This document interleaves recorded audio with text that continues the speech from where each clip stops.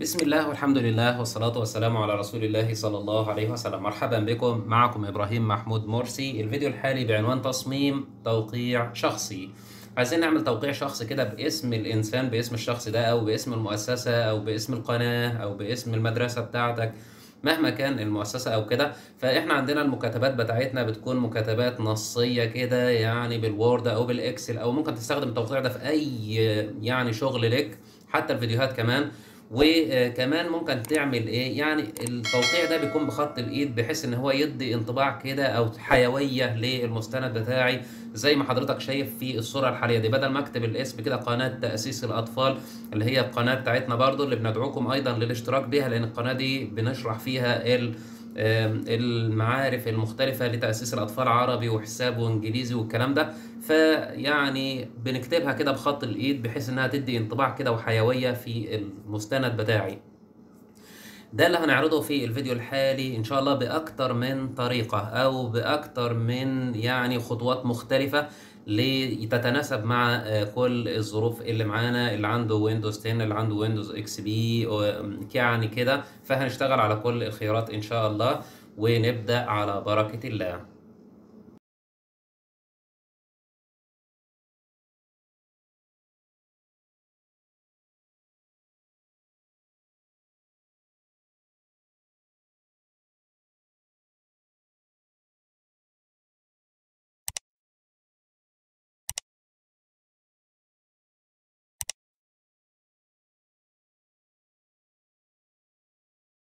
طبعا في البداية إحنا هنستخدم في الخطوة الأولى دي هنستخدم 3D Paint وهروح لقائمة start هروح للبحث بتاع الويندوز ده وهضغط هكتب هنا 3D 3D 3D فهيجيب لي على طول اللي هو 3D Paint في الخيار الأول أو الأساسي ده اللي هو أول واحد ده.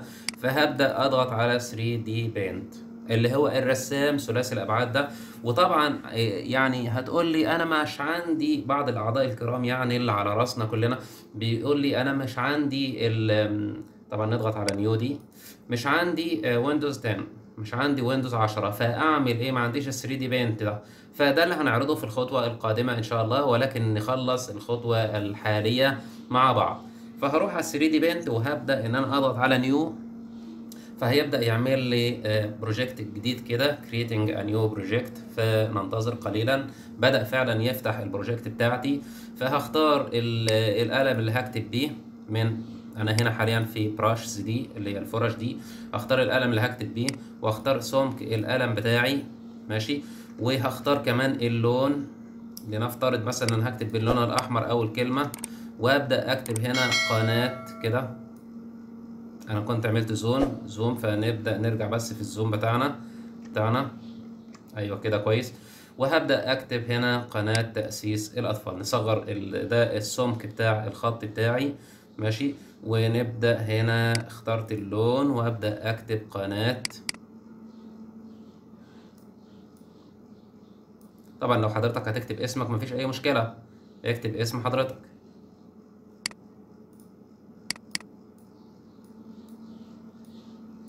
كويس كده؟ وبعدين نروح نكتب كلمة تأسيس بس نختار لون تاني وليكن اللون الأخضر مثلا. ت ألف كده. والهمزة اهيت والسين واليه والسين التانية. وأحط نقطتين كده.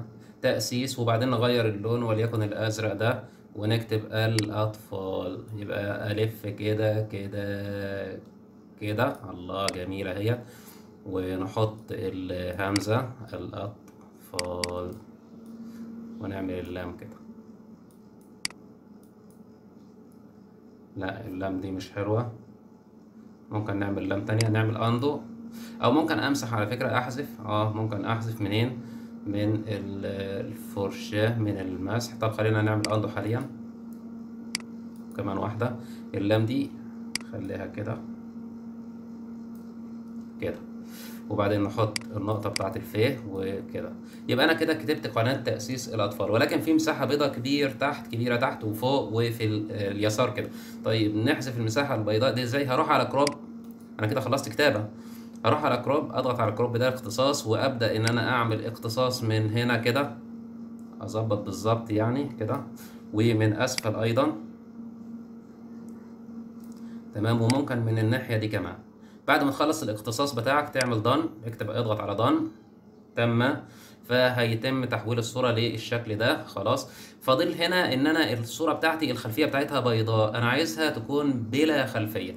فاروح على كانفاس وأضغط على transparent canvas ديت وأضغط على on ماشي؟ فهيتم تعديل الخلفية إن هي تكون شفافة أو بلا تعبئة يعني الخلفية بتاعتي. خلاص يبقى أنا كده كتبت الشكل بتاعي وخلصت كل حاجة. أروح على منيو. أنا خلصت الرسمه بتاعتي على فكرة كده. آه وأروح على save as واعرف بس أنا هحفظها فين. image طبعا هحفظها على انها صورة. خلاص. هيحدد هيفتح لي طبعا ال browse بتاع المستعرض بتاع المسار اللي أنا هستخدم منه آه أو هضيف فيه الصورة بتاعتي. واسمها وال type بتاعها وكده. انتظر قليلا. طبعا هيفتح معايا أهو اتفتح ال browse. آه اسمها إيه ومكانها فين؟ أنا هختارها في ال desktop عادي وهغير الاسم ده هخليه قناة تأسيس الأطفال.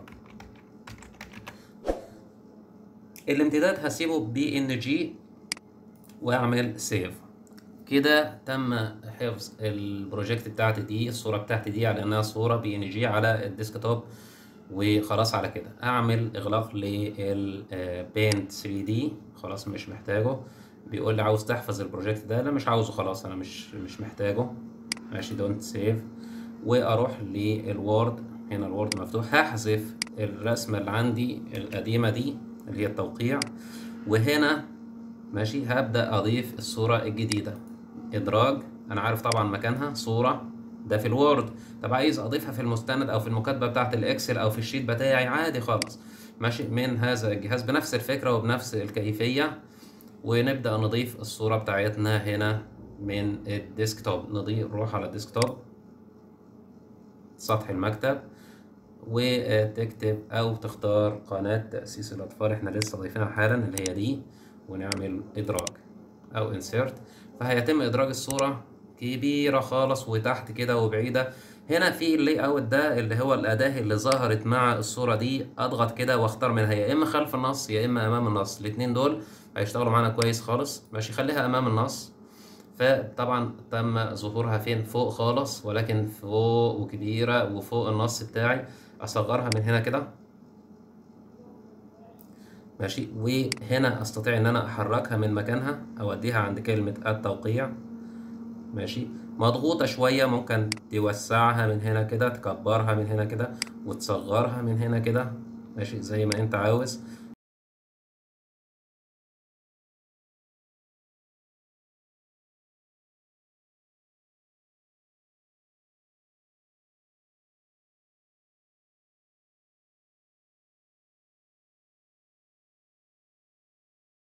ماشي. أو كمان إن أنت تعمل لها يعني كده مثلا. طيب الألوان دي لا مش عجباني أنا عاوز ألوان تانية. عادي خالص. أنت حاليا هي حاليا كأنها صورة. فأنت مجرد إن أنت تضغط عليها كده بتروح لأدوات الصورة اللي ظهرت فوق دي وتنسيق وفي هنا عندي تحسين الألوان وكل الحاجات دي. بتختار الألوان اللي أنت عايزها. وفي ألوان أيضا ممكن تغير اللون خالص. خليه بلون يعني كلها لون واحد كده. أو بألوان كلها باللون ده أو يعني بص كل الخيارات دي معاك متاحة ممكن تجربها كلها على الصورة.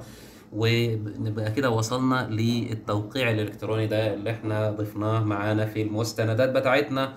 ولكن يبقى سؤال مهم لو أنا مش عندي ال Windows 10 Windows 10 اللي فيه 3D Paint أعمل إيه؟ في فكرة تانية إن أنا أعمل نفس الشغل ده أو نفس الفكرة أيوه عادي خالص. ممكن حضرتك تفتح ال Paint العادي الرسام العادي.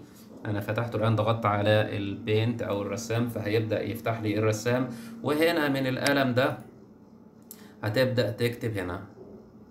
تمام؟ خلينا نضيف الخلفية كلها مثلا بلون زي اللون الاخضر ده. الخلفية كلها. ماشي نحدد كده. وعملت ديليت عشان أحذف كل شيء. يبقى هنا الخلفية عندي كلها بالأخضر. خلاص وأكتب هنا عليها مثلا باللون البني ده أو الأحمر ده. أكتب هنا قناة آه بالقلم طبعا. أختار القلم. القلم هنا ده. لما تختار القلم كده فهيبدأ يعرض لي أنت عاوز القلم بتاعك شكله إيه ولونه إيه والكلام ده وكل الخصائص بتاعته عادي هنختار أي قلم كده أو اللي أنت تختاره يعني. ونبدأ نكتب باللون اللي هو ده. نكتب قناة. أهوت. هتقول لي الخلفية خضراء كده أنا مش عاوزها بيضاء الخلفية هنعرف دلوقتي تأسيس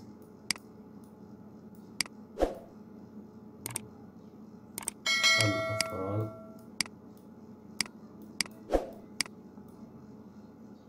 كده مثلا أنا يعني بس بعمل كمز... كنموذج أو كمثال مثلا كده.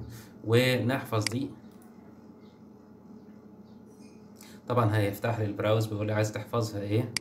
ماشي هحفظها على سطح المكتب برضو كده. خلينا نروح للديسكتوب.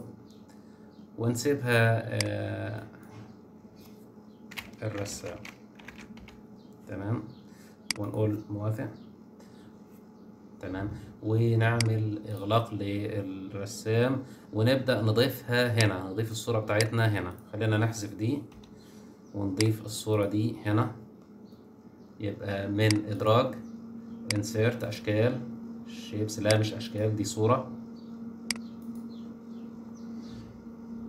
وأختار من سطح المكتب desktop الرسام اللي هي دي. موافق؟ طبعا هتظهر في الصفحة اللي بعدها. نعمل برضو اللي الأداة بتاعت ال layout دي التخطيط. أمام فهتنتقل طبعا للصفحة اللي فوق. نروح لها فوق. أهيت. نصغرها من هنا كده.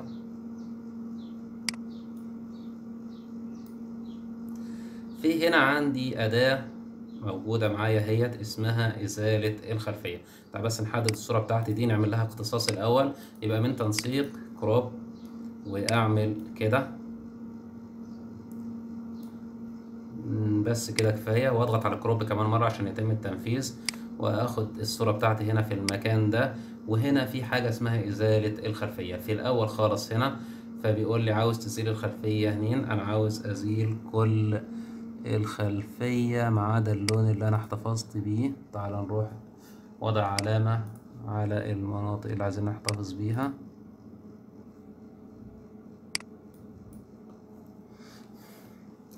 بس كده بتحط علامات على كل المناطق اللي أنت عاوز تحتفظ بيها. ماشي؟ وبعد كده بتعمل آه الاحتفاظ بالتغيرات دي. فبتظهر معانا الكلمة بالشكل ده. ماشي؟ كأنها توقيع للقناة أو للمستند بتاعي. بتعمل يعني تصغير كده. ده الشكل النهائي للفكرة اللي حاولنا نعرضها في الفيديو الحالي. طبعا بنعتذر عن التقصير وبنعتذر عن آه إن يعني آه كان في إطالة للفيديو شوية أو كان في يعني وقت طويل الفيديو كان طويل. فيعني ولكن حاولنا على قد ما نقدر يعني إن يكون الشرح مبسط وإننا نوصل لنفس المعلومة باكتر من طريقة سواء حضرتك عندك الإصدار الأحدث وتقدر توصل لها من خلال 3D Paint مباشرة أو عند حضرتك الإصدار الإصدارات اللي قبل كده من ال Windows وعشان كده مش هتعرف توصل ل 3D Paint فممكن نوصل لها من الرسام العادي أو ال Paint العادي. شكرا لمشاهدتكم الطيبة. ما تنساش طبعا تعمل اشتراك للقناة واضغط على زر جرس التنبيهات ليصلك تنبيه بالفيديوهات القادمة إن شاء الله. شكرا لكم وإلى لقاء قريب. كنت معكم إبراهيم محمود مرسي. والسلام عليكم ورحمة الله وبركاته.